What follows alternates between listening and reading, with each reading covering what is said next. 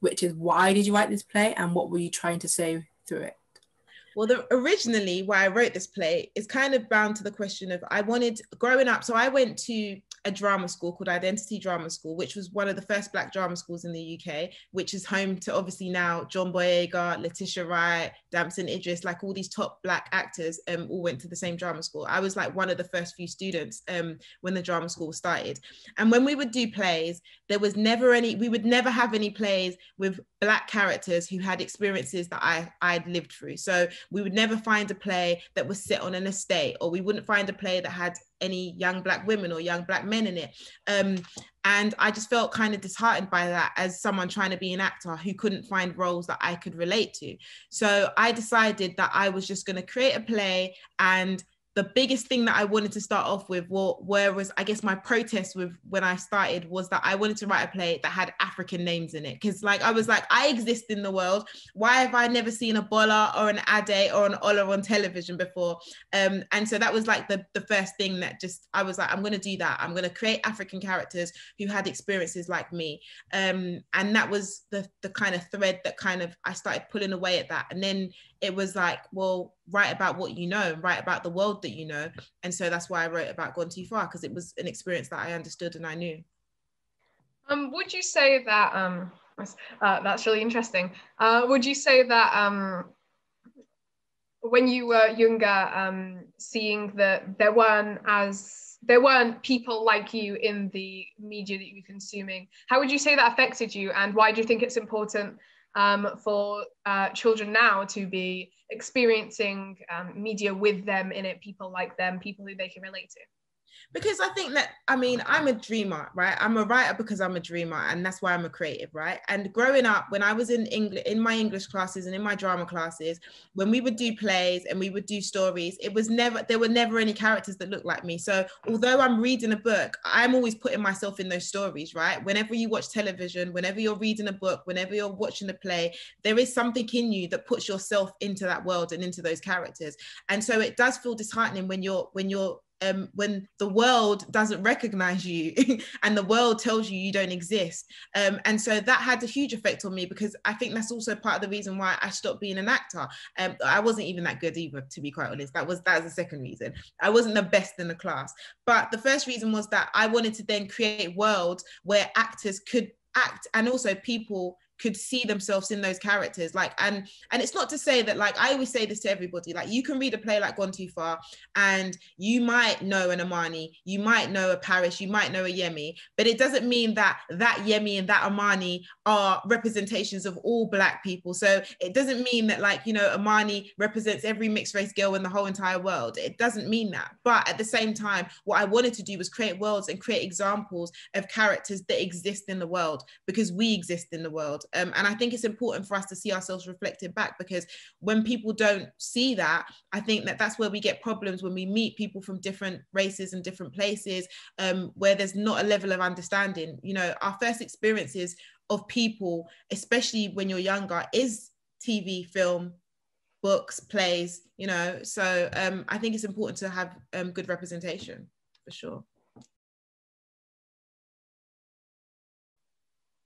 Um, right. So as a mixed race girl myself of West Indian background on that side, um, to me, it was special myself to see to see someone like me, to see Imani, uh, even though I don't specifically relate to her, like you were saying, um, I would like to think that I'm not like Imani, Um, but it's not, it's good and it's uh, nice to see someone like me, someone who is um, from the kind of background that I'm from, um, on the stage doing things that I like doing, not Armani, but um, I know acting, performing.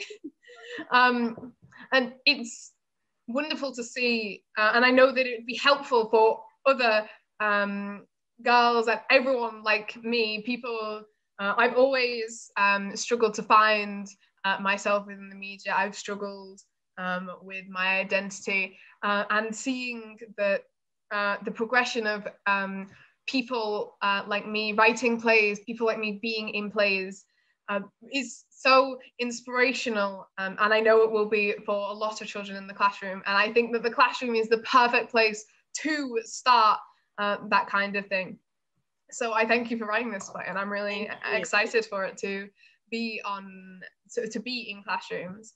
Thank um, you. I mean, yeah, I'm. I wish that I always say that, like, if I was my 15 year old self, like, I would have loved to um had had a play like this when I was doing GCSE drama because we didn't have it at all. And so yeah so it's nice to hear that like and i i do i did write from the perspective of like i'm writing for people like yourselves because i do think it's important for you to have characters that you can explore and they don't need to be like you. Like i'm sure that playing Armani is going to be far removed from who you are which is fun because i mean it's it's fun for you to play other people and and that's what acting is all about you know? So yeah i'm glad that that resonates with you. Thank you Another question is how did you tell the female story through the male characters and how did you find that?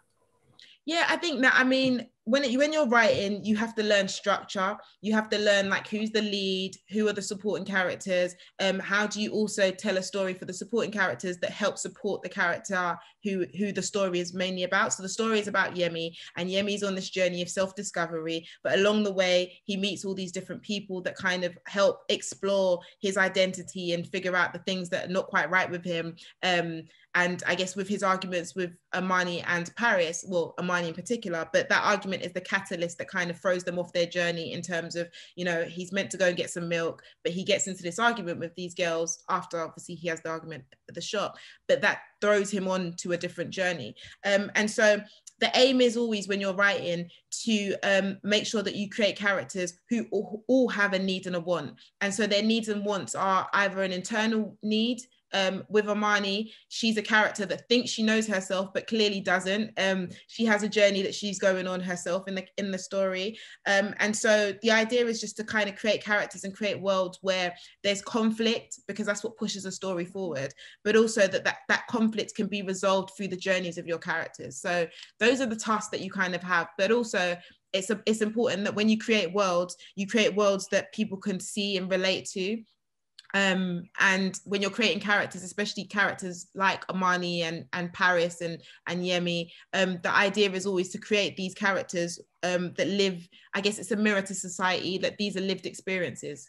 And so that's kind of how like I was able to kind of mix all those things together. If that makes sense. yeah, it does. Good, good, good. Well when you're from like again another reason why i wrote this play was because i wanted to explore what it was like being from a diasporan community you know like my parents are 100% from somewhere else. Like this mm-hmm. is somewhere that they decided was their home when they were in their late 20s like this wasn't something they grew there wasn't a world they grew up in.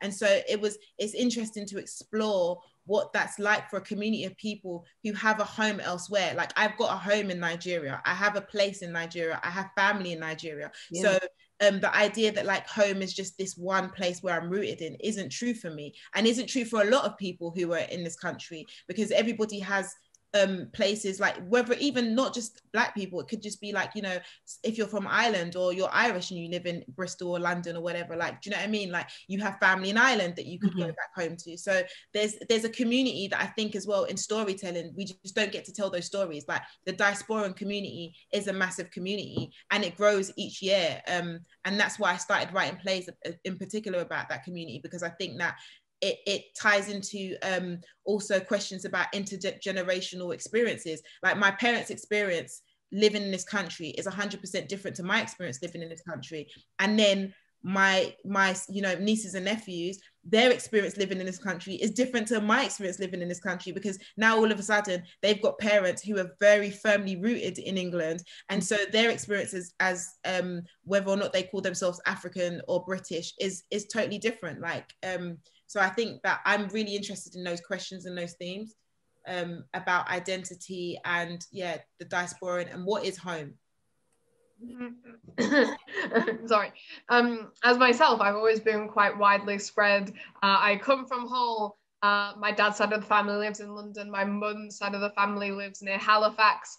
Um, I have family in Ireland. I have family in Wales, America, um, the Caribbean. I have family everywhere, and I've never really been so attached to any of those places. I um, am, I've never really seen my family there. Um, but I know that I come from there and I have roots there and I love learning about those things. I love learning about my past and where I've come from. Um, and I feel that me as a person, I love being someone with so many different cultures behind me. I love being someone um, who can uh, continue to learn about myself, who can continue to uh, learn new things about my family.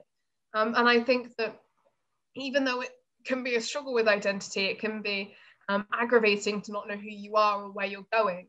It can also be a beautiful experience learning who you are um, and learning about yourself and your family and where you've come from. And I know that I still have a lot to learn about that myself.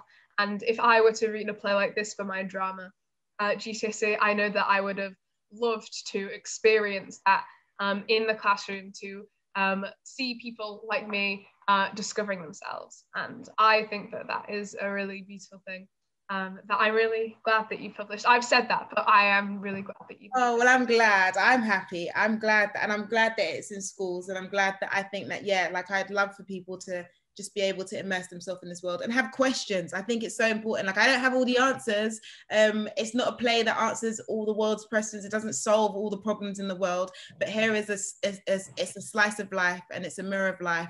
And I hope that people can have loads of questions about it and and and think deeply about like what identity is. And yeah,